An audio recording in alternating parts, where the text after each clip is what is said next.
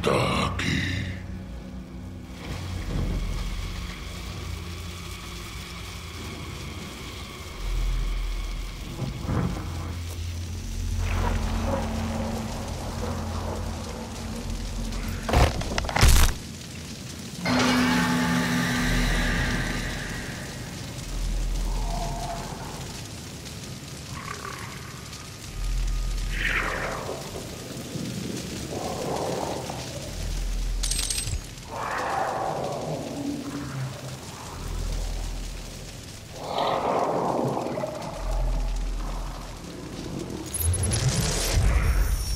Instalaremos el dispositivo del portal en la tumba. Usa los postes de luz para señalar el camino.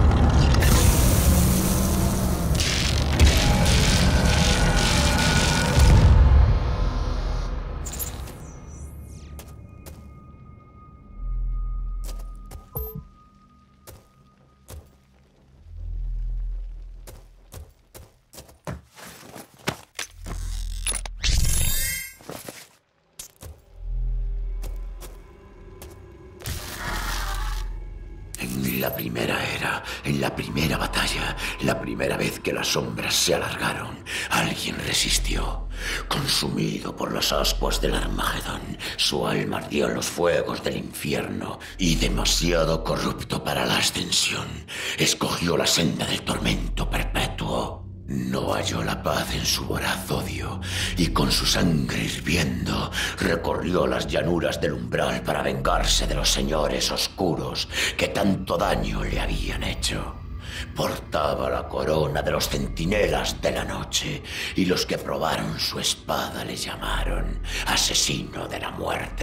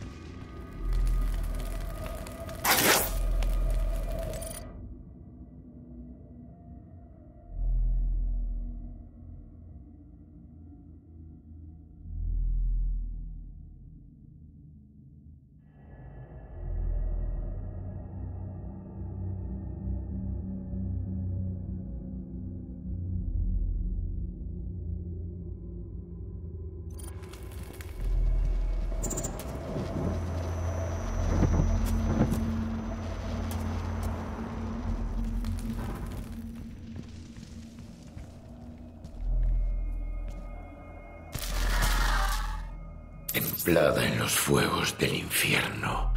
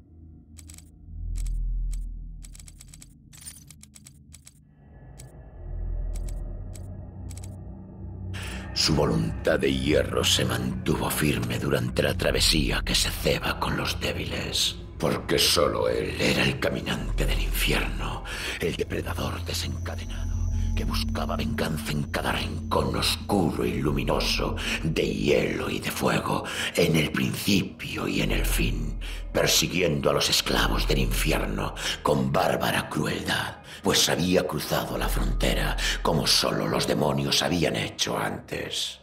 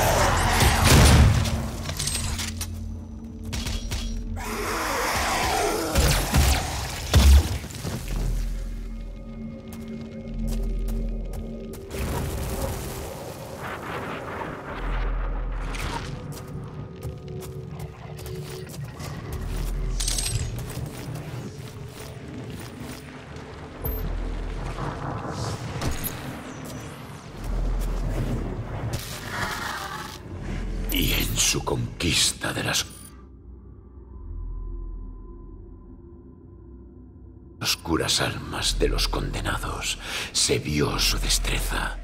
En su cruzada, el serafín le concedió una fuerza y una velocidad temibles. Y con su poder destruyó los pilares de obsidiana de los templos de sangre. No mostró piedad contra las bestias de los nueve círculos. Indestructible, incorruptible, inflexible. El asesino de la muerte ansiaba acabar con el reino oscuro.